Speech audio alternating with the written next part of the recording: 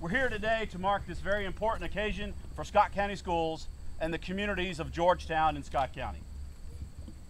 Didn't those second graders do a great job singing their song?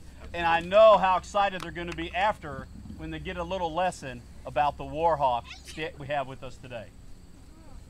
We think it's significant to have these boys and girls here with us this morning because it's in all likelihood that they're going to attend Great Crossing High School.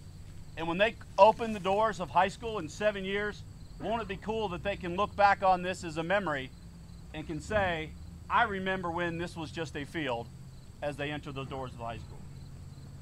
This land itself is representative of the sense of community and history that Great Crossing High School will have to uphold. Buffalo crossed the Elkhorn nearby. Pioneers settled this area, and it was the first founding of what is the community of Georgetown now. This is the future home of Great Crossing High School and of the Great Crossing High School Warhawks. And today we have a very special Warhawk here to celebrate with us.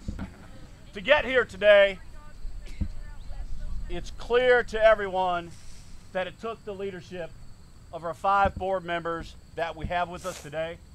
Board Chair Kevin Kidwell, Vice Chair Stephanie Powers, Joanna Fryman, Diana Brooker, and Susan Duncan.